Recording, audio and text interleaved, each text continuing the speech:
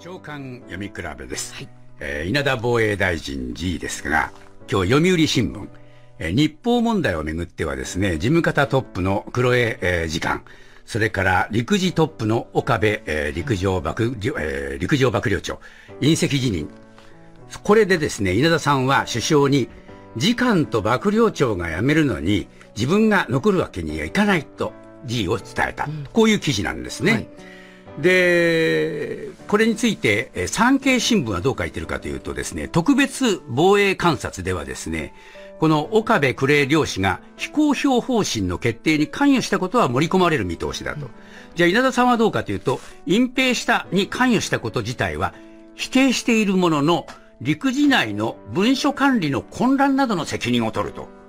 こういうことだそうですから、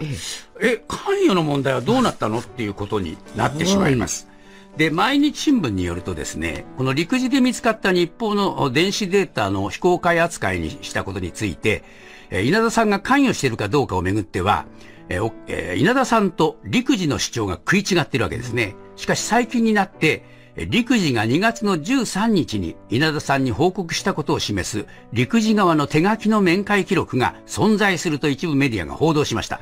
で、報告を受けてないという稲田さんの説明の信憑性が揺らいで、与党内で辞任論が広がったというんですね。で、結局政府関係者に言わせると、陸自側が報告したと言っている以上、観察結果が大臣の関与を否定しても、完全に打ち消すことは難しい。本人も説明がつかつかなくなると判断したんじゃないかと。だから辞任だって言うんですけども、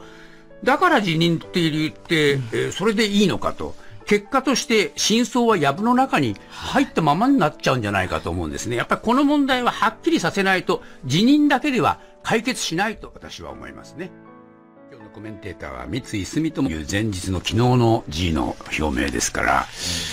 ちょっとこれはタイミングとしてね、えっていうタイミングでしたねだ。ってね観察の結果がね、ええ出てないんでしょ？はい。出てからやめるのが普通じゃないです普通かはそうですね。出てから私にはこんな落ち度がありましたし、え陸学長も辞めるし事務次官も辞めるので、え私も責任取りますと。はい。でそれはえーもうその報告が分かっているかのようにね、ええ結果が観察の結果が分かっているかのように、ええあ私も持たないからっていう判断だったのかね、はあはあ私はそう見えますよね。昨日安倍さんに会ってるっていう時にはですね40分間ねやっぱりこの特別監察のな中身の報告もあったっていうんでしょ？だから分かってるわけですよ、ね、分かってるわけですよね。でもそれ事前にね、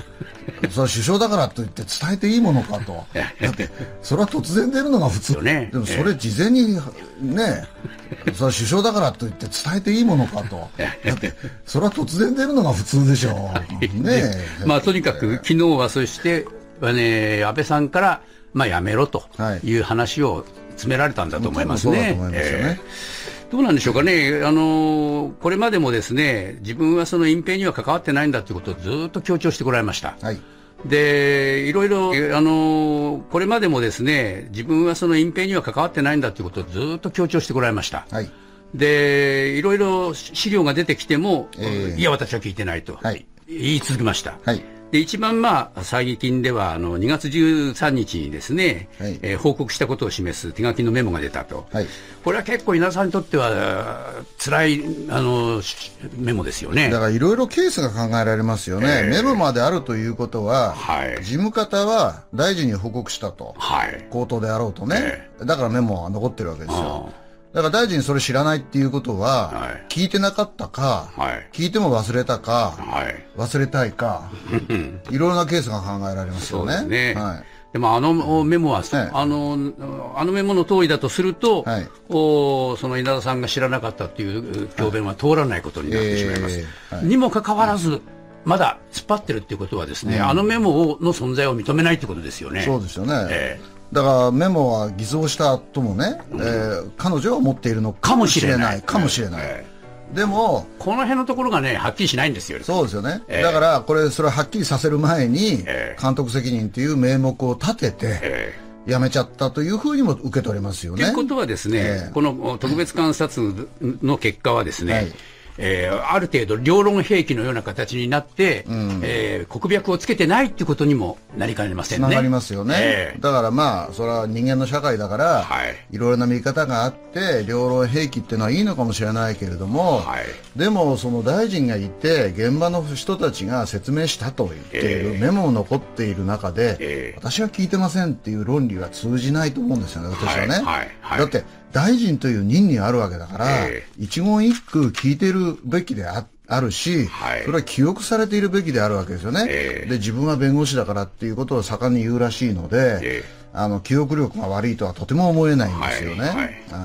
まあ、この辺のところはね、結局、藪の中になってしまう危険性もありますよね。それ一番怖いですよね。そうですね。うん、まあ、その、お辞めになる理由はそれだけじゃなくて、はい、えー、都議選のさなかのね、えー、応援演説の問題も、はい、えー、一つ引き金にあったと、はい、いうことになるわけですけれども、えー、伊藤さん、この一連の流れ、どう見ますか？うん私はやっぱりね、えー、あの安倍首相が、あの稲田さんが書いた論文に目をつけてね、えー、スカウトしたというところまでは分かりますよね、はい、当時、はい、あの幹事長代理だったのかな、はい、だから候補者が欲しい、自分の考え方に近い、うん、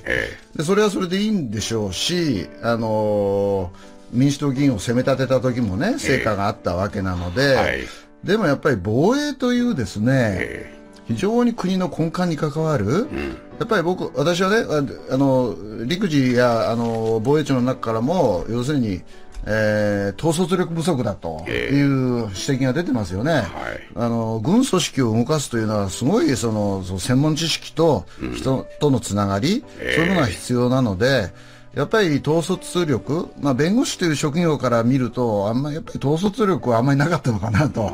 自分で弁舌でね、やっぱりその職を立てるということなので、私はやっぱりね、安倍さんの起用方法に問題があったということは言えるんだろうと思いますね。結局任命責任にそうですよね。たどり着きますよね。はいはいはい。えーうん、まあその辺をどうね安倍さんのところで考えるかっていうこともね、ね一つ大きくこれは議論も必要ですよね。えー、しかも最後までねあの、はい、直前まで引っ張ってね、えー、いやしっかりやってるからそれは学んでやってほしいとだから育てる気持ちは安倍さんにはあったんだと思います。はい、でもそれは国を預かることなので、育てるプロセスの中でいいのかっていう気が私はしますよね。